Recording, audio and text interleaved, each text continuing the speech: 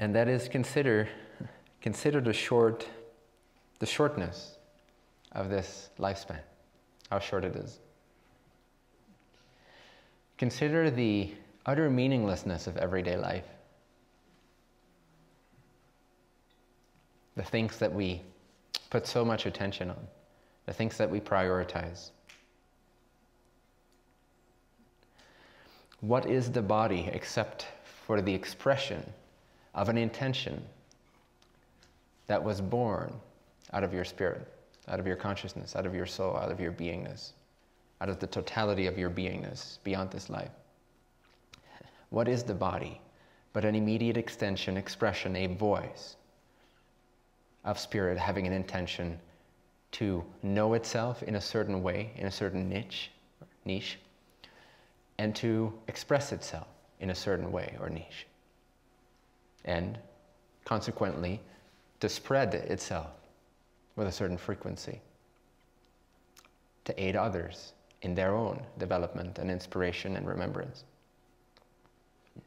The thing about third density incarnation is that there is this energetic veil that comes over the consciousness to where the consciousness that's then seemingly operating the body is separated, not really, but seemingly separated from the memory database of spirit.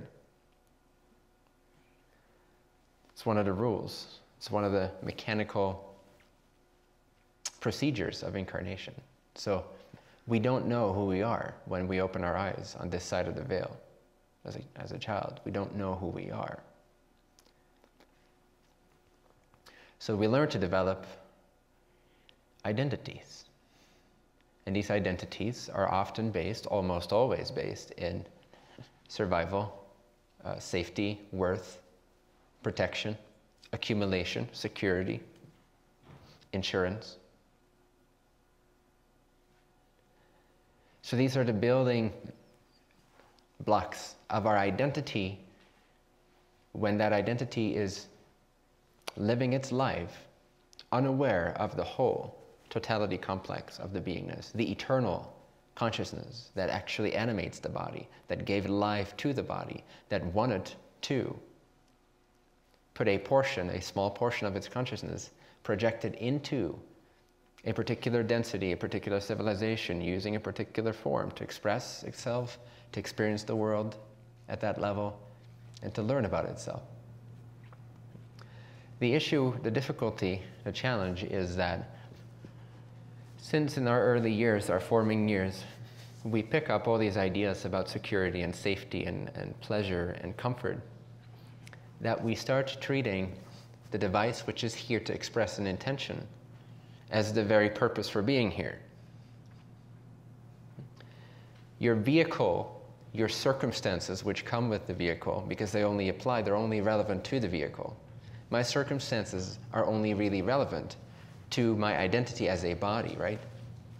So, body and circumstances can be mentioned under the same name in this particular lesson. So, what happens is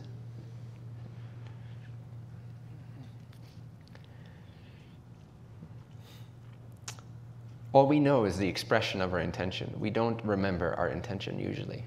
That comes later in life, we start to remember. If we're on a spiritual path, uh, that's accelerated.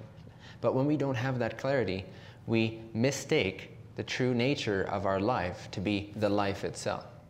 Again, most of us, in the back of our minds, you might not even think you're thinking this, but most of you are thinking this automatically at a subconscious or unconscious level every single day. And that is, you're, it's even hard to explain, but we have this assumption of a life.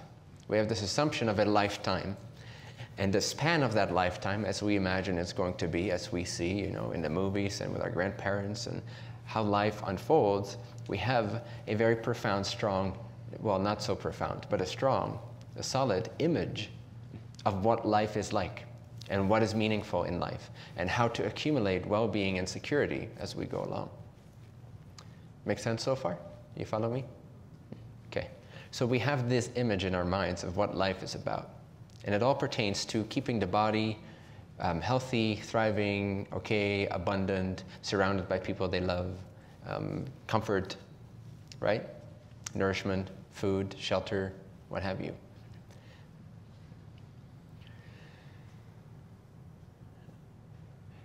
This is a concept that's in your mind right now. It's an unconscious assumption. You assume you're going to live for a certain amount of years. In truth, you have no idea. You might die walking out of this room. Maybe I hired Grim the Reaper just for you guys because you didn't do your homework. He's right behind that door. You stand no chance. Wait, is it the Grim Reaper? What is it? Grim the Reaper?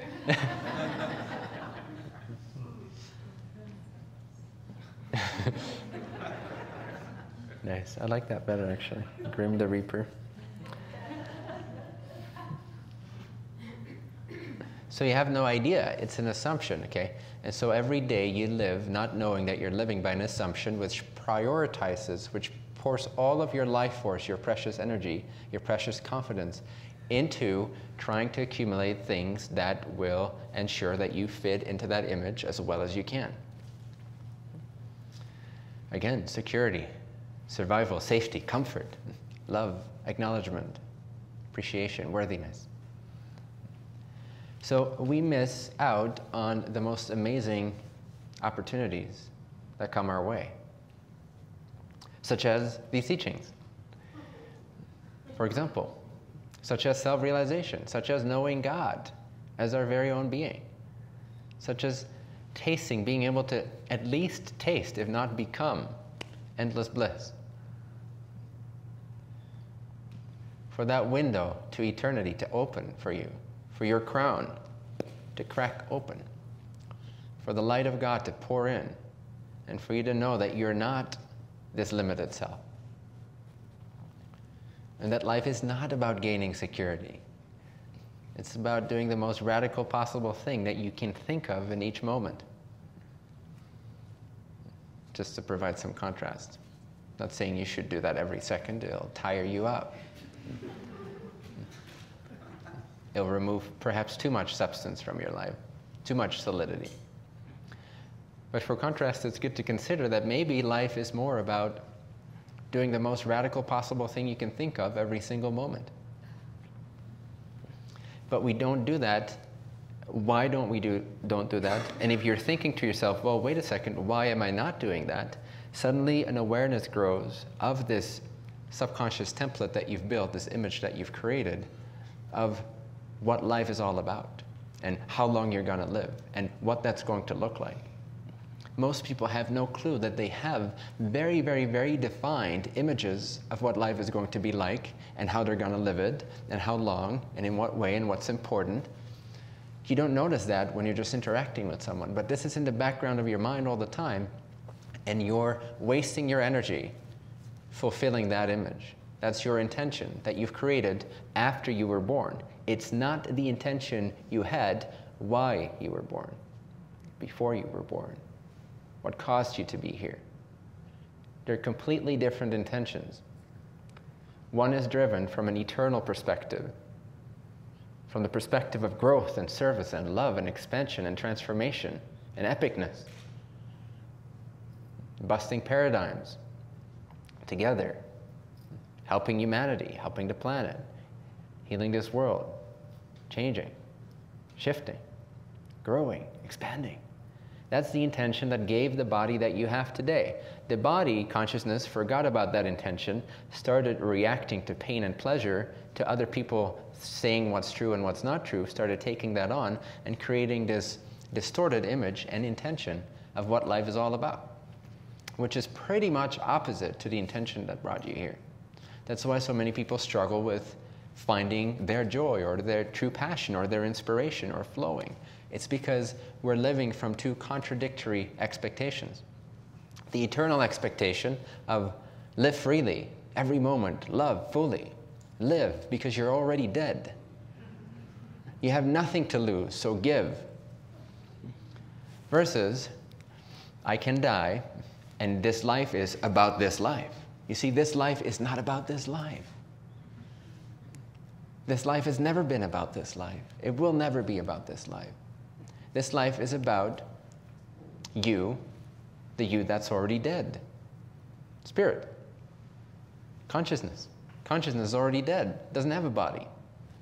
It has a journey, it has an intention, it has an infinitely complex, higher density vibratory pattern of, of learning and knowing and knowledge and memory.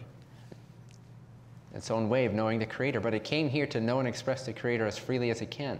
But again, beyond the veil, when the veil kicks in, we forget and we start reacting to circumstances. These teachings can get you out of this if only you practice. And so, self realization is one of the most empowering paths you can take. It's one of the most actualizing paths you can take. Because what if you remember who you are? That you're not this body. That you did not come here for security, safety, longevity, health. Sure, it's great to be healthy, whatever, you know. It allows you to express yourself in the way that is meaningful to your soul. But if you're connected to your soul and you live from that passion, there's no way, there's no way that you're not going to be healthy, at least in the departments where you need to be healthy to perform what you came here to be, as long as you honor that frequency and that intention. So, again, consider that you are too identified with your body as we speak. You are giving way too much significance to your life. Okay? To think about your life kills you. To think about death sets you free, makes you come alive. It's the opposite way. Do not try to protect your life, protect your death. When you die, what do you wish to have learned? What do you wish to look back on? What do you wish you left behind? I have that with me in pretty much any choice that I make.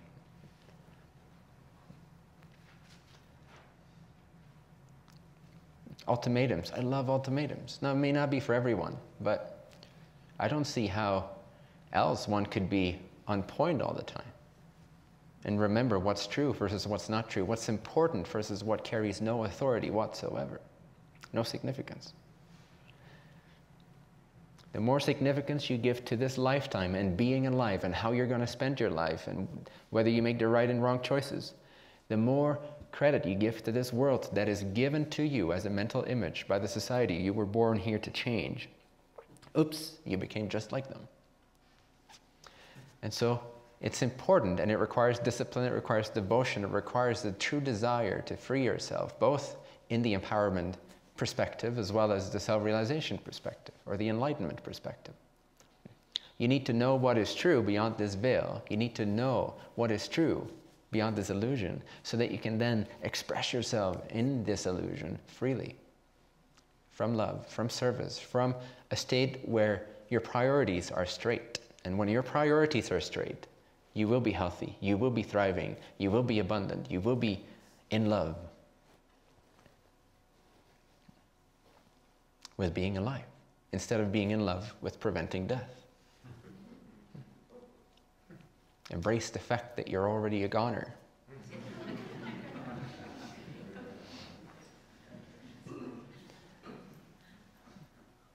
Few things are more liberating than to realize that you're already dead. Because then the question arises well, then what? Then what's important?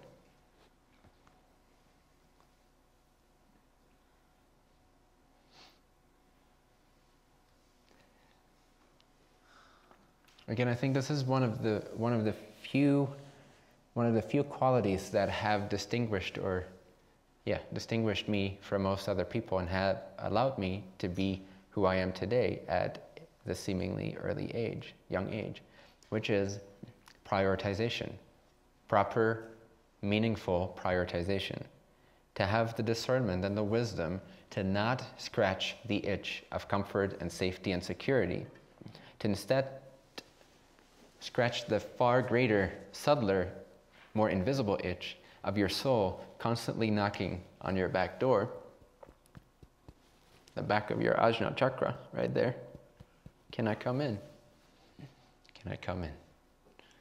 Constantly telling you what's most important, guiding you, inspiring you. But we've accumulated too many ideas to listen to the voice of that spirit. So we need to shed that self realization. A basic level of self realization is required for everyone if you want to live an empowering life. Now, it doesn't have to be permanent, doesn't have to be all the time, doesn't have to be in all ways, but at least a basic understanding and an experiential access point, a knowledge, an inner knowing that you are free beyond this life, that you're not the body, that this body is the expression, it's the pen through which you are writing your testament to God. And to not idolize the pen over the story you came here to write. You know, that's what we do. We value this over the reason this is here. You see the difference?